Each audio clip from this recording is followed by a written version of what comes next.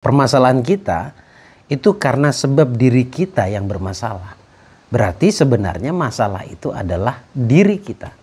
Mencari, dalam tanda kutip, mencari solusi. Ngapain cari solusi?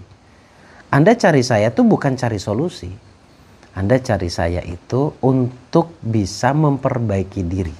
Kalau sudah itu semuanya dijaga, saya yakin mah dalam kurun waktu satu bulan, bahkan maksimal tiga bulan, anda sudah akan merasakan perubahan. Lebih-lebih kalau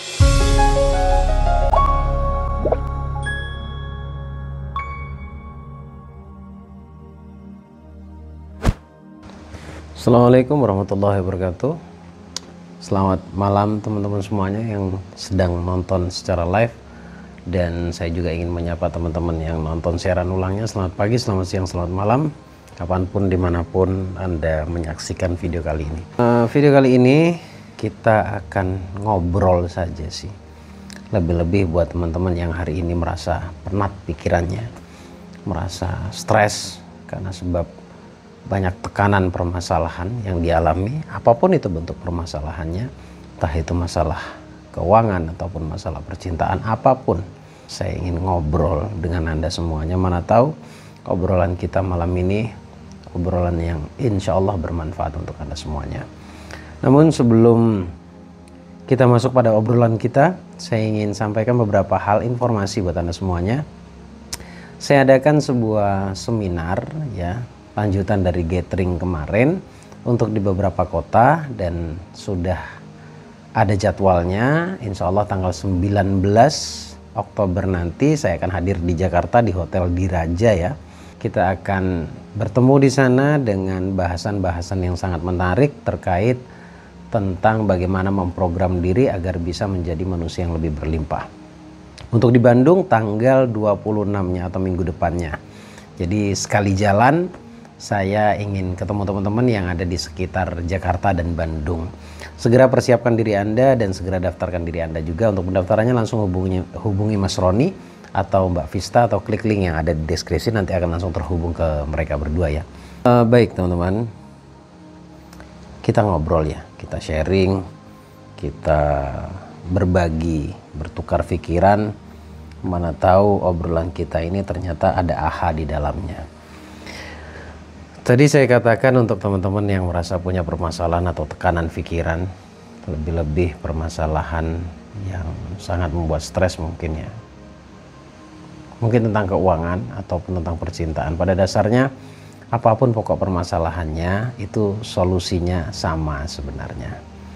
Tapi perlu saya sampaikan di jam-jam seperti ini Anda harus tetap bisa menjaga feel Anda, perasaan Anda dalam keadaan yang baik. Ya, itulah kenapa saya upload video itu jam 9 malam. Tujuannya adalah untuk menemani Anda agar Anda tidak memikirkan masalah sebenarnya. Tapi yang Anda pikirkan adalah keilmuan bagaimana caranya bisa memperbaiki diri, memperbaiki hati. Karena sebenarnya apa pun pokok permasalahannya jawabannya itu ada di dalam diri kita masing-masing sebenarnya. Tetapi karena itu ada di dalam kita sulit untuk menemuinya. Dan semuanya ukurannya adalah ukuran mata menurut kita. Padahal sebenarnya uh, sebuah solusi itu ada dalam diri manusia tadi seperti yang saya sampaikan ada di dalam dirinya atau diri kita masing-masing sebenarnya. Hanya saja kita tuh bukan cari ke dalam tapi lebih cari keluar. Nah, perlu saya sampaikan ini hal penting banget sebenarnya. Untuk Anda yang merasa penat, stres pikirannya. Jangan cari solusi ya anda bertanya kepada siapa pun, niatnya bukan cari solusi, tapi lebih kepada cari tahu bagaimana caranya memperbaiki diri. Karena setiap permasalahan yang kita alami itu sebenarnya kita yang sedang bermasalah dengan diri kita sebenarnya. Jadi kita tuh tidak tidak bermasalah dengan eksternal apa pun itu sebenarnya. Coba ya, kita kaji bersama-sama ya saya tadi sampaikan bahwa kita itu sedang tidak punya masalah dengan eksternal kita. Kita sedang punya masalah dengan diri kita. Jadi kalau kita punya masalah dengan diri kita, berarti diri kita lah yang harus diperbaiki. Artinya yang di luar itu hanya dampak. Permasalahan yang kata Anda yang sedang Anda alami itu hanya dampak dari tidak baiknya diri Anda. Ya, permasalahan kita itu karena sebab diri kita yang bermasalah. Berarti sebenarnya masalah itu adalah diri kita. Sama halnya atau sebaliknya, ketika kita selesai dengan diri kita, kita tidak punya masalah dengan diri kita, maka di luar pun akan selesai. Dan ketika Anda sudah bisa memperbaiki diri Anda walaupun itu bertahap pelan-pelan, maka sebenarnya masalah Anda pun akan selesai. Selain ke saya, mungkin Anda cari eh, praktisi-praktisi yang lainnya. Ingat, jangan cari solusi. Temui orang-orang yang ngerti di bidangnya atau faham terhadap ilmu pengembangan diri. Tujuannya adalah Anda belajar untuk bisa memperbaiki diri atau Anda ingin tahu bagaimana caranya memperbaiki diri.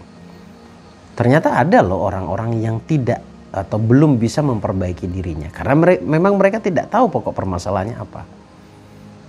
Insya Allah Anda sudah mulai paham ya apa yang saya maksud. Kalau kita bermasalah dengan diri kita sendiri berarti diri kita yang harus kita perbaiki. Nah ketika kita baik, kita sudah benar maksudnya. Kita sudah sadar sejatinya diri kita. Maka insya Allah pelan-pelan Allah akan hidangkan solusi itu melalui dirimu. Jadi Anda tahu Anda harus ngapain gitu loh. Itu yang dimaksud ya. Nah, sekali lagi jam 9 malam istiqomah, repetisi, pengulangan konsisten, saya akan terus berikan video di mana tanpa Anda sadari bahkan mungkin ya pikiran bawah sadar Anda terkecoh sehingga Anda tidak memikirkan masalah tetapi lebih memikirkan bagaimana caranya bisa diri semakin baik atau memperbaiki diri. Artinya Anda mungkin bertanya-tanya apalagi nih yang akan dibahas oleh saya gitu, oleh Bagus Baraja, apalagi nih isinya nih. Dan perhatikan baik-baik, semua isi itu atau isi di video saya itu ngajakin Anda untuk kembali ke jati diri Anda sebagai manusia, yaitu manusia yang baik. Yang pertama, baru kita poinnya di video kali ini ya Perhatikan keadaan-keadaan pikiran bawah sadar Anda lewat perasaan Anda. Apalagi di jam-jam yang sangat sensitif. Di jam-jam saat Anda mendengarkan saya ini waktu atau jam di mana sangat sensitif. Menarik energi atau menarik sebuah kejadian melalui energi kita. Karena apa pun perasaanmu itu memancarkan energi ke alam semesta. Kalau diri kita atau perasaan kita lebih condong kepada ikhlas, pasrah. Kalau saya katakan baik abstrak sekali ya kayaknya ya. Tapi saya katakan secara spesifik kalau kita di jam-jam yang sangat sensitif ini kita menjaga perasaan kita menghilangkan kebencian, cenderung lebih tenang, menjadi diri yang benar-benar energinya powerful, energinya yang sehat, dan merasakan keberlimpahan, merasakan syukur, merasakan damai, merasakan ketenangan. Itulah kenapa sepertiga malam itu menjadi kunci terkabulnya doa ya otomatis orang ketika bangun sepertiga malam dan niatnya untuk tahajud berarti dia punya doa. Kenapa sepertiga malam itu waktu yang sangat mustajab? Karena menenangkan, mendamaikan. Sepertiga malam itu adalah atau kondisi orang yang sedang berdoa dalam keadaan yang sangat-sangat sensitif. Pernah saya sampaikan bahwa jaga baik-baik setengah jam atau satu jam sebelum Anda tidur dan setengah jam atau satu jam setelah Anda bangun tidur. Artinya yang saya maksud jaga adalah usahakan dalam kondisi yang benar-benar tenang, yang dalam keadaan netral. paham kalau kita ada masalah gitu ya. Tapi jangan sampai masalah itu menekan perasaan Anda. Nah inilah alasannya kenapa saya upload jam 9 malam tujuannya bahwa atau maksudnya adalah karena memang di jam-jam segini kan Anda akan istirahat dan tidak sedikit sebelum Anda istirahat Anda nonton video saya. Kemudian setelah nonton video mungkin bagi yang punya audio terapi sambil dengerin audio terapi kemudian tertidur. Dan banyak sekali teman-teman yang sudah mempraktekkan tidak banyak faham ilmu tetapi lebih memperhatikan setengah jam akan tidur dan setengah jam setelah bangun tidur. Ketika terus memperhatikan itu, menjaga tetap dalam kondisi tenang, banyak sekali yang bereksperimen, hajat-hajatnya dimudahkan oleh Allah. Dan ini yang tidak kalah pentingnya ya. Uh, anda konsisten, silahkan Anda praktekkan, silahkan Anda bereksperimen kita kerjasama ya. Saya akan bantu Anda. Bukan untuk menemukan solusi, tetapi untuk menemukan jati diri atau memperbaiki diri.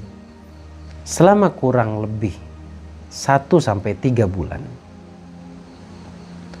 Anda terus tonton video yang saya upload jam 9 malam. Seperti video saat ini. Tonton saja terus. Dan setiap kali mendapatkan tontonan atau materi di video saya, Anda praktekkan. Sekali lagi, nontonnya dari awal hingga selesai. Jangan hanya nonton buru-buru kemudian di skip-skip dengan apa ya? Dengan ingin menemukan poin dari videonya, nggak bakalan nemu. Pasti Anda gagal paham. Tapi budayakan nonton dari awal sampai akhir.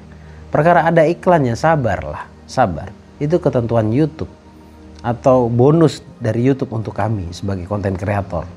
Nah, sekali lagi tonton dari awal hingga akhir tanpa di skip. Kemudian ambil poin-poin dari apa yang disampaikan di dalam video. Kemudian Anda ambil pulpen dan kertas atau buku, Anda catat poin-poin pentingnya atau perintahnya, perintah dari isi videonya, Anda harus ngapain? Anda catat. Dan segera diamalkan. Kalau benar-benar Anda itu ingin doanya terkabul, coba belajar untuk istiqomah. Belajar untuk konsisten, istiqomah, sabar. Ya, karena itu menjadi syarat orang berilmu. Ya, menjadi syarat orang berilmu. Kalau mau berilmu, kalau ilmunya mau jadi, itu salah satunya adalah sabar, konsisten. Kemudian diulang-ulang kemudian temukan guru yang kompeten ya dan waktu yang cukup artinya punya waktu gitu loh kemudian olah pikirannya benar-benar memiliki kecerdasan dalam artian mampu berpikir ya, Anda cuma perlu effort di situ Anda tidak perlu effort yang yang aneh-aneh gitu nggak perlu. Cuman itu saja. Konsisten belajar sungguh-sungguh. Istirahatkan ya istirahatkan dirimu satu bulan sampai tiga bulan ke depan. Niat istilah kasarnya istilah kolotnya bertapa. Tapi bukan bertapa terus puasa dan sebagainya. Itu nanti step berikutnya kalau anda sudah benar-benar merasakan spiritualitas sekarang yang perlu anda lakukan adalah sabar. Tunggu setiap kali saya buat video. Selama satu bulan sampai tiga bulan terus pantengin jangan di skip skip poin per poin dicatat kemudian besoknya diamalkan. Ya terus nggak usah terlalu intens di medsos kecuali anda memang punya kerjaan ya profesi anda itu sama seperti saya konten kreator tetapi kalau rasanya tidak mendapatkan faedah hanya ngelihat status-status yang tidak bermanfaat, story-story orang yang kadang kala malah merusak pikiran Anda, sebaiknya itu dikurangi atau malah ditiadakan.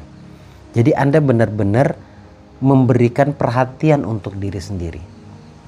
Kalau Anda mau melakukan itu secara konsisten, Anda boleh cek nanti perubahannya seperti apa. Ya. Selain Anda juga harus menjaga spiritualitas, Anda juga harus jaga kesehatan. Ya. Anda harus olahraga, kemudian makan yang cukup dan sehat. Itu yang akan menambahkan energi. Kalau sudah itu semuanya dijaga, saya yakin banget dalam kurun waktu satu bulan, bahkan maksimal tiga bulan, Anda sudah akan merasakan perubahan.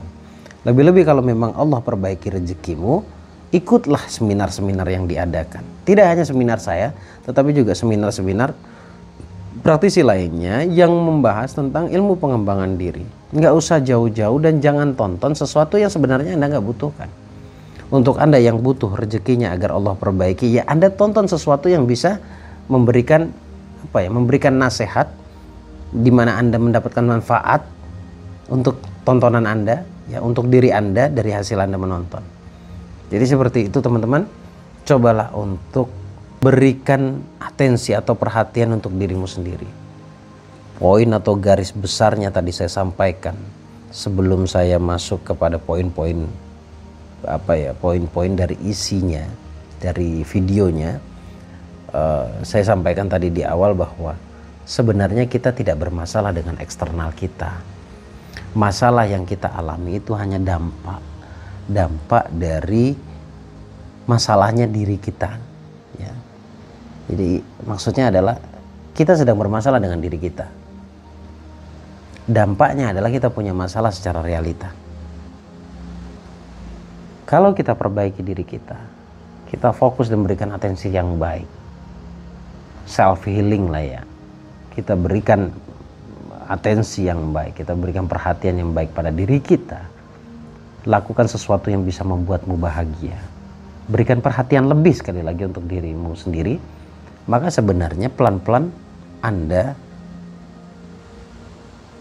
akan merasakan manfaatnya. Salah satunya adalah masalah yang Anda alami akan selesai. Jangan cari solusi, tapi lebih kepada perbaiki diri. Setelah diri sudah diperbaiki, berproses semakin hari semakin baik, maka yang di luar pun akan beres.